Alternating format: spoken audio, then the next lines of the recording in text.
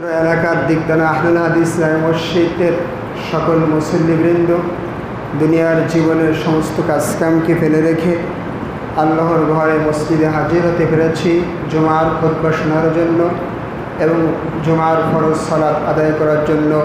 এজন্য সেই মহান রব্বুল আলমের দরবারে শুক্রিয়া জানাই সাহেব আলহামদুলিল্লাহ।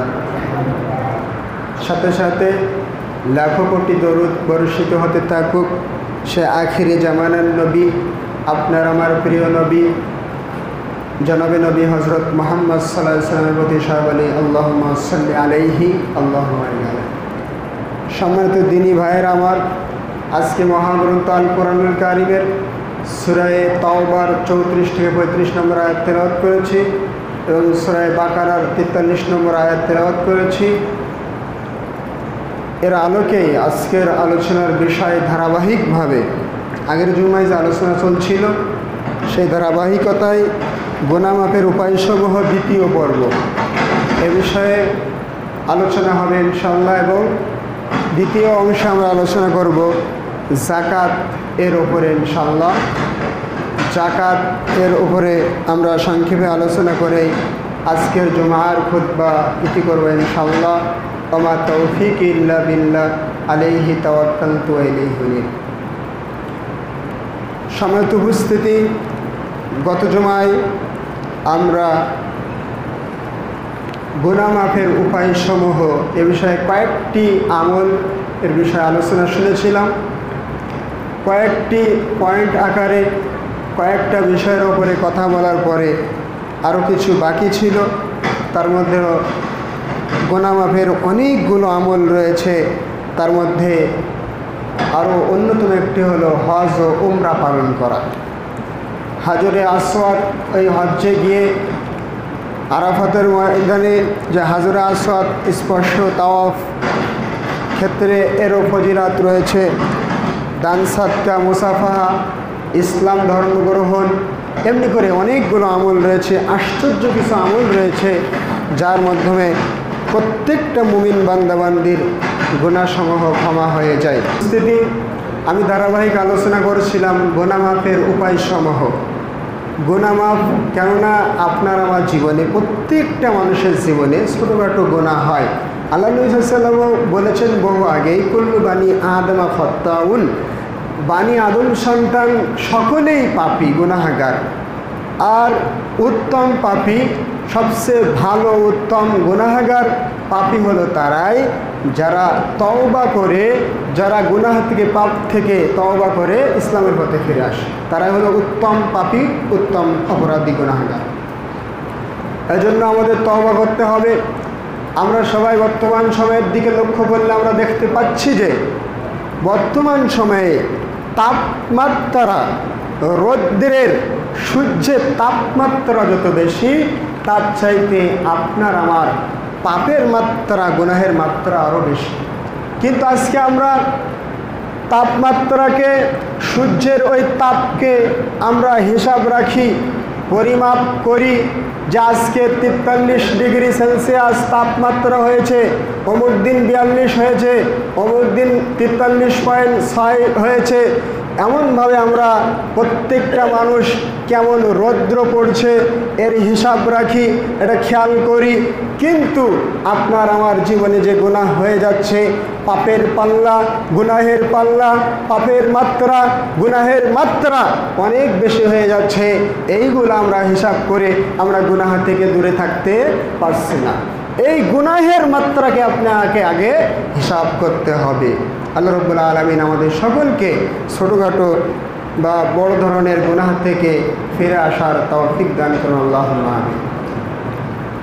সমিত হাজরিন আজকে আমরা প্রথম অংশেই বলব যে হজ ও উমরা পালনের মাধ্যমে মানুষের গুণা মাফ হয়ে যায়। আল্লাহ নবী সাল্লাম বলেছেন, মান হাজ্জালিল্লাহি ফলাম ইয়ারফুস ফলাম ইয়াফসুক। রজা কায়াউমি অলত্তুহু উম্মুহু। আল্লাহ নবীলাম বলছেন, যে ব্যক্তি আল্লাহর উদ্দেশ্যে হজ পালন করল, আর সেই হজ ব্রত পালন করতে গিয়ে বাইতুল্লায় গিয়ে, মক্কায় গিয়ে, সেই হজ্জের মধ্যে কোনো প্রকার অশ্লীল কার্যক্রম করল না, গুনাহের কাজে লিপ্ত হলো না, তাহলে সে হজ থেকে ফিরে আসবে ঠিক সেদিনের ন্যায়, যেদিন তার মা তাকে প্রসব করেছিল, জন্ম দিয়েছিল বলেন সুবাহানন্দা অর্থাৎ যারা হজ্জে যান অনেক লক্ষ টাকা, কয়েক লক্ষ লক্ষ টাকা খরচ করে তাদের কবুল হজ্জে যেতে হয় ওমরা হজ্জে যেতে হয়। এই হজ একটা ফরজ ইবাদত। এই ইবাদত যদি আল্লাহ রব্বুল আলমিন কবুল করে নেন, তাহলে ঠিক ওই দিনের মতো আপনি আমি নিষ্পাপ হয়ে যাব। যেদিন ছোট্টবেলায় একবারে ছোট্ট মাসুম বাচ্চা থাকা অবস্থায় আপনার আমার মা যখনই প্রসব করেছিলেন, আমরা এই দুনিয়ার মুখ দেখেছিলাম, একেবারে ছোট্ট ছেলে মেয়ে, ঠিক সেই দিন যেমন আমরা নিষ্পাপ হয়ে গিয়েছিলাম নিষ্পাপ অবস্থায় ছিলাম, ঠিক তেমনই হবে যদি আপনার আমার জীবনে এই হজ কবুল হয়ে যায়, আমরা ঠিক এমনইভাবে নিষ্পাপ হয়ে যাব। এজন্য গুনামাফের অনেকগুলো আমলের মধ্যে অন্যতম একটি আমল হলো হজ ও উমরা পালন করা। এজন্য দিনী ভাইয়ের আমার বয়োজ্যেষ্ঠ পিতার সমতুল্য মুরব্বিয়া বাবাজানরা আমার আপনাদের যাদের হজ করার সামর্থ্য হয়েছে, হজ করতে যাওয়া মক্কা যাওয়া পর্যন্ত যাদের অর্থ সম্পদ আছে, জমা আছে, অবশ্যই নিয়োগ করে টাকা পয়সা জমা দিয়ে আপনাকে বাইতুল্লায় গিয়ে হজ ব্রত পালন করতে হবে। আল্লাহ নবী সাল্লাম উমরা হজ পালনের ফজিলতের ব্যাপারে বলেছেন আল উমরাতু ইলাল উমরা কাফারাতুল লিমা বাইনাহুমা ওয়াল হাজুল মাবরুর লাইসালাহু জাসাউন ইল্লাল জান্নাহ আল্লাহ নবী বলছেন যে এক উমরা হতে আর এক উমরা সকল গুনাহের কাফারা স্বরূপ। আল উমরতু ইরাল উমরাহ কাফারাতুল লিমা বাইনাহুমা। আল্লাহ নবী বললেন যে, যারা হজ পালন করে, তাদের ফজিলাতের বিষয়ে লক্ষ্য করেন। আল্লাহ নবী বলছেন যে, এক উমরা পালন, অপর উমরা পালনের মধ্যে যত সগিরা গুণা আছে, অন্যায় আছে, পাপ আছে গুণা আছে, এগুলা হলো কাফারা স্বরূপ এক উমরা থেকে আরেক উমরা এর মধ্যে। এরপরে অংশ বলা হচ্ছে বলে হাজুল মাবরুর।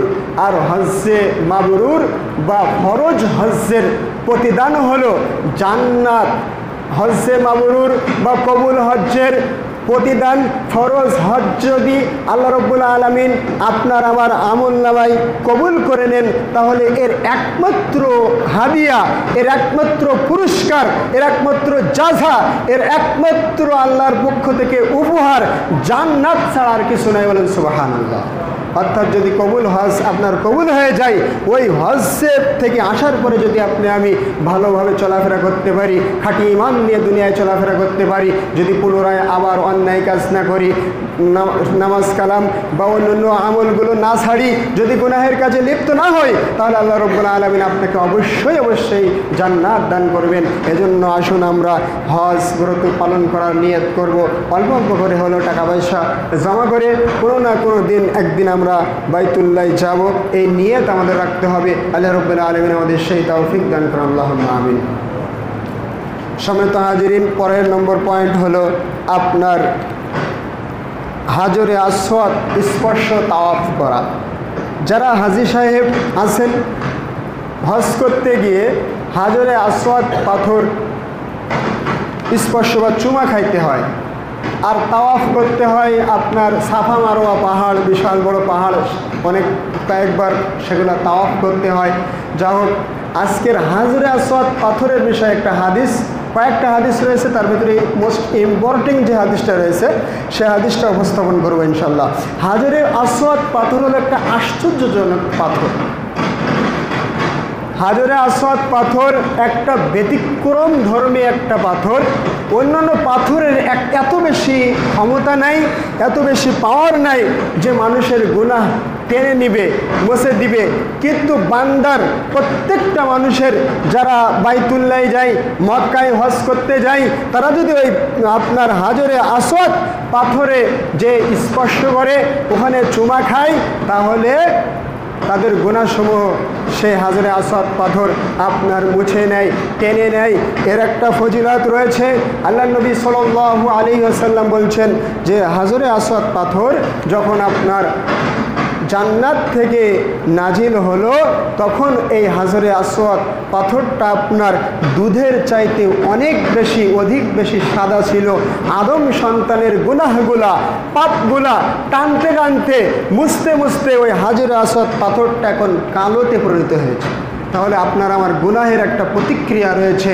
ওই হাজরে আসওয়াদ পাথর আল্লাহ নবীলামের হাদিস দ্বারা স্পষ্ট বোঝা গেল, যখন আল্লাহর পক্ষ থেকে, আল্লাহর কাছ থেকে আসমান থেকে এই হাজারে আসওয়াদ পাথর নাজিল হয় তখন দুধ তো আপনার অনেক বেশি সাদা। এই দুধের চাইতে আর অনেক বেশি সাদা ছিল। তো এইটা চুমা খাওয়ার পরে আপনার কালো হয়ে গেছে। অর্থাৎ বোঝা যাচ্ছে, যারা হজ করতে গিয়ে সেখানে স্পর্শ করবে অথবা চুমা খাইবে তাদের গুণাসমূহ মুছে দেওয়া হবে বলেন সুবাহানুল্লাহ। সমত হাজরিন এরপরে যে কোনো প্রাণীর সেবা করতে হবে। আপনার আমার গুণা দেখুন, যদি উদাহরণ দেই, তাহলে আমরা বুঝতে পারি যে আপনার আমার গুণা যদি বিশাল পাহাড়ের সমান হয় বিশাল একটা সাগরের নদীর পানির সমপরিমাণ হয়। তাহলে তার চাইতে আরও অনেক অনেক গুণ, অনেক গোলা সাগর, নদী, পাহাড়, বিশাল বড় পাহাড়ের চাইতেও আমার আল্লাহ রব্বুল্লা আলমিনের দয়া দয়া, রহমত বা আল্লাহ যে ক্ষমা করতে পারেন, আল্লাহ তার চাইতে অনেক বেশি ক্ষমাশীল বলেন সোবাহানন্দ এজন্য আমলগুলো করতে হবে। বিশেষ করে আল্লাহ এবং তার রসুলাম যে আমলের কথাগুলো বলেছেন, আমরা এই আমলগুলো ধারাবাহিকভাবে করব ইনশাল্লাহ তাহলে আমাদের পিছনের পাপগুলো, অন্যায়গুলো ঝরে যাবে। ভাইয়ের আমার, আপনার আমার জীবনে কত গুনাহের কাজ সংগঠিত হয়। আপনার আমার জীবনে বিভিন্ন ক্ষেত্রে, বিভিন্ন সময়ে বিভিন্ন সময়ে, বিভিন্ন সেক্টরে, বিভিন্ন স্তরে, বিভিন্ন ক্ষেত্রে আপনার আমার জীবনে অনেক গুনাহের কাজ সংগঠিত হয়। যদি আমরা উদাহরণ দেই, তাহলে আমরা দেখতে পারব, জানতে পারব যে যদি আপনি, অবশ্যই আপনাদের এলাকার মানুষ সবাই পরিশ্রমী মানুষ, সকাল ফজরের পর থেকে সবাই অবশ্যই নিজ নিজ কাজকর্মে চলে যান। আবার সকাল দশটা বা এগারোটার দিকে বেশি রৌদ্র আসলে সবাই বিশ্রাম নেন। অথবা বিকাল হলে আমি দেখেছি সবাই আবার কাজ কামে যান। তবে যখনই কাজকাম মানুষের কম হয়ে যায়, সেটা অত্র এলাকায় হতে পারে, যশোর জেলার অন্য কোনো উপজেলায় হতে পারে, খুলনা জেলার অন্য কোনো উপজেলায় হতে পারে, সাতক্ষীরার অন্য কোনো উপজেলার অন্য কোনো গ্রামে হতে পারে, যে মানুষের যখন একটু কাজকাম কমে যায়, তখনই মানুষ সারাদিন পর একটু সময় পাওয়ার পরে তারা চায়ের দোকানে বসে, সেখানে বসে গল্প গুজব শুরু করে দেয়। সেই চায়ের দোকানকে তারা আপনার একটা পার্লামেন্ট বানিয়েছে। বানায়নি ভাই? চায়ের দোকানকে তারা একটা সংসদ ভবন বানিয়েছে। তারা সেখানে গিয়ে আপনার এমনভাবে মানুষের নামে পরচর্চা করে, মানুষের নামে পরনিন্দা করে, মানুষের নামে গিবত করে। আর এই গিবতটা মানুষ সহজেই করে। এই গিবতের পাপটা, এই গিবতের গুনাহের কাজটা মানুষ হালকা মনে করে। এই গিবত পরনিন্দা গুনাহের কাজটা আমরা গুনাহের কাজই মনে করি না। এই গিবত পরনিন্দাটা আমরা সহজভাবেই মনে করি যে আমরা তো স্বাভাবিকভাবে গল্প করেছি এটা আবার গুনাহের কাজ কীভাবে হয়? এজন্য আপনাকে দূরে থাকতে হবে, আপনাকে বিরত থাকতে হবে গিবত নামক মহাপাপ থেকে। সম্মত হাজিরিন, গিবত একটা মারাত্মক গুনাহের কাজ। সচরাচর আমরা যদি লক্ষ্য করি, তাহলে আমরা সবাই এই গিবতের পাপে পাপি আমরা অযথা গল্প করতে গিয়ে অনেক সময় হয়তো বা আমরা, আমি নিজেও অনেক সময় বলতে পারি, আল্লাহ আমাদের সবাইকে হেফাজত করুক, এই গুনাহ থেকে আমাদেরকে রক্ষা করুক আল্লাহ আমিন। অনেক সময় আমি ইমাম সাহেব, তাই কি হয়েছে? অনেক সময় আমাদের মুখ দিয়ে বের হয়ে যায়। অনেক সময় একজন মাদ্রাসার শিক্ষক মানুষ তার বের হয়ে যায়। মাদ্রাসার সহকারী শিক্ষক তাই সেও অপরের নামে গিবত করে। প্রিন্সিপাল মানুষ সেও অপরের নামে গিবত করে। অন্য অন্য সহকারী শিক্ষক সেও অপরের নামে গিবত করে। যে কোনো একটা এলাকার মেম্বার, চেয়ারম্যান, ওয়ার্ডের মেম্বার, আপনার ইউনিয়নের চেয়ারম্যান, সে অপর অন্য তার যে প্রতিদ্বন্দ্বী রয়েছে, তার নামে গিবত করে। এই গিবত একটা গুনাহের কাজ, চরম আকারের গুনাহের কাজ। কিন্তু আপনার আমার আমল নামায় এই গিবতের পাপে পাপে জর্জরিত গুনাহগুলো জর্জরিত হয়েছে, তা আপনি আমি এর থেকে যে তবা করে ফিরে আসব, এই গুনাহের কাজ আর করব না, এই হুশ কিন্তু আমাদের হয় না। সম্মত ভাইরা আমার গিবত না করে আপনি আমি, আপনাদের কাছে আমি সহজ একটা আমলের বিষয় বলতে চাই, তাহলে আপনার আমার উপকার হবে ইহকালে এবং পরকালে। যদি আপনি আমি অপর কোনো দিনই ভাইয়ের নামে, অপর কোনো দিনই বোনের নামে গিবত পরনিন্দা না করি, তাহলে তার বিপরীত একটা কাজ রয়েছে, সেটা হলো তার মাধ্যমে আপনার নেকি হবে সোয়াব হবে। যদি আপনি আমি অপর কোনো ভাইয়ের নামে গিবত পরনিন্দা না করি, তার দোষ ত্রুটি বলে না বেড়াই, না বেরিয়ে গিবত না করে আপনাকে আমাকে তার নামে সে ব্যক্তি যে কেউ হতে পারে, তার নামে আপনি আমি প্রশংসা করব। গিবত না করে আমরা অপর ভাইয়ের নামে প্রশংসা করব। তার ভালো কথাগুলো বলব। মন্দ দোষ ত্রুটিগুলো ঢেকে রাখতে হয়। মন্দ দোষ ত্রুটিগুলো যে ব্যক্তি দুনিয়া থেকে অপর কোনো ব্যক্তির দোষ ত্রুটিগুলো ঢেকে রাখবে কে আমাদের মাঠে আল্লাহ রব্বুল আলমিনও তার দোষ ত্রুটি ঢেকে রাখবেন হলেন আল্লাহ এজন্য অপর ভাইয়ের নামে আপনি গিবত করলে আপনার তার যে পাপ অন্যায় গুণাগুলো আপনার গুণা খাতায় জমা হবে, আবার আপনার নেকিগুলো তার নেকিতে চলে যাবে। এজন্য আপনি কিন্তু ক্ষতিগ্রস্ত হয়ে যাচ্ছে এজন্য এগুলো থেকে দূরে থাকতে হবে। সমেত ভাইয়ের আমার যে কথা বলছিলাম, যে আপনার আমার আমল নামায় অনেক গুণা অনেক পাপ থাকে। বিভিন্ন ক্ষেত্রে আমরা যদি উদাহরণ দেই, গুনাহের আজকে শেষ নাই, আজকে বিভিন্নভাবে আমরা গুনাহের কাজ করে ফেলি। এজন্য আমাদেরকে ভালো ভালো আমলে সালেহ করতে হবে। আল্লাহ রব্বুল আলমিন আমাদের সেই তৌফিক দান করুন। আল্লাহ আমিন। সমৃত হাজরিন, এর পরের পয়েন্ট হলো যে কোনো প্রাণীর সেবা যত্ন করা। আমরা যে কোনো প্রাণীর সেবা যত্ন এ পয়েন্ট পর্যন্ত বলে গোনামাফের উপায় সমূহের আলোচনা এই পর্যন্ত আমরা শেষ করব ইনশাল্লাহ তারপরে যত আমি সময় পাই, তার মধ্যে জাকাতের বিষয়ে আলোচনা করব ইনশাল্লাহ সমেত উপস্থিতি। গুনামাফের অনেকগুলো পয়েন্ট প্রাণীর সেবা করা। আপনার আমার যারা মুরব্বী হয়েছেন, মুরব্বী চাচা, দাদা যারা রয়েছেন, অনেকের মুখের দাড়ি পেকে গেছে, অনেকের মাথার চুল পেকে গেছে। এই যে আপনার মাথার চুল পেকে গেছে, এটাও আপনার জন্য উপকার। এটার মধ্যেও আপনার জন্য ফায়দা রয়েছে।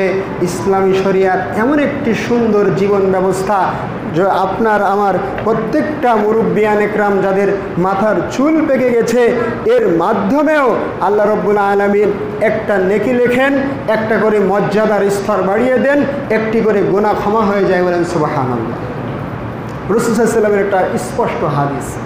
এরপর আসেন, প্রাণীর সেবা করতে হবে, তাহলে আপনার আমার গোনাগুলো মাফ হয়ে যাবে। আমরা সবাই জানি সাহাবি আবুহুর রদি আল্লাহ আনু থেকে বর্ণিত। তিনি বলছেন যে, একদা আল্লাহ সাল্লাহ সাল্লাম বলেছেন, একদা একজন বেবিসারিণী মহিলা, জেনাকারী মহিলা কোথাও যাচ্ছিল, সফর করছিল, যেতে যেতে দেখল যে একটা কুকুর আপনার হাঁপাচ্ছে।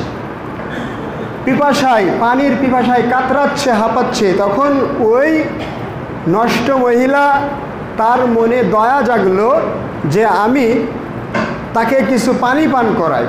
তখন সে তার ওড়নাটা বা মোজাটা খুলে আপনার পাশে কূপ ছিল, ওই কূপ থেকে আপনার পানি উঠিয়ে ওই কুকুরকে পান করালো, খাওয়াই দিল।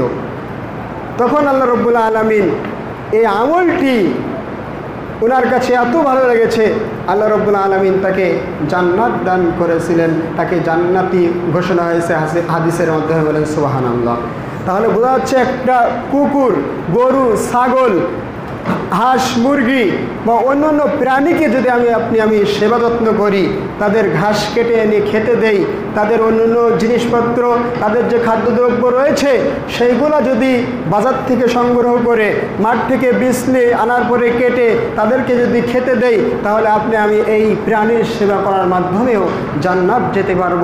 আপনার আমার গোনা মাফ হয়ে যাবে ইনশাআল্লাহ।